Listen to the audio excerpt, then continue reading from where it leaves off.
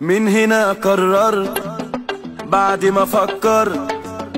أمشي عالصعب وعرفت أنا لما كبرت إن اللي تفكر في أزمة كان خوفك منه ملوش لازمة وأديك عالصعب قدرت واللي زمان ضحكوا عليك شوفهم دلوقتي بيداروك صفهم